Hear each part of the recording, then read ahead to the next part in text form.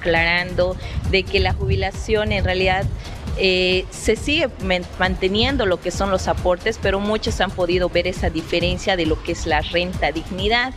Entonces ese descuento de 300 bolivianos, porque cabe aclarar que la renta dignidad, si bien es para toda persona adulta mayor que cumple los 60 años, pero si trabajan en una institución pública no pueden cobrar todavía, entonces se tiene algunos jubilados que si bien están jubilados, digamos, pero están activos en alguna institución pública, entonces ya cuando la administración con la gestora pública entonces se ha podido regularizar esa diferencia para que a futuro tampoco tengan inconvenientes porque se estaría realizando una doble percepción en estos casos de lo que es cobro del Estado. Entonces esa forma se ha ido aclarando a todos los beneficiarios, pero en realidad también muchos han quedado tranquilos y han podido ver y aclarar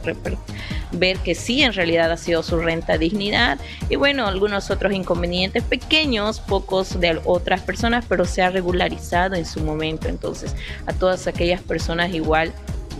que han ido haciendo sus trámites con las AFPs, que han venido cobrando de ya desde las AFPs, pueden estar tranquilos. Si tienen alguna duda, consulta, pueden apersonarse también, dirigirse, bueno,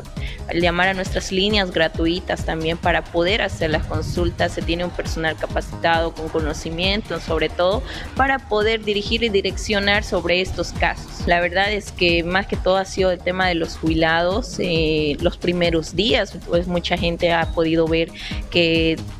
muchos esperaban el primero, sí, digamos, pero se ha hecho los desembolsos en base a cronograma también y fechas establecidas que nosotros tenemos en base a normativa. Sé que mucho cambio también a las personas como que les asusta o bueno, sienten la duda y se entiende sobre todo todo cambio, toda transición a veces lleva estos procesos, pero nosotros estamos mostrando de que su, su, jubilación está siendo segura, está siendo trabajada y administrada sobre todo, y lo demás consultas no, sobre todo este segundo mes se ha tenido una respuesta positiva de todo lo que es la administración de las pensiones de los jubilados.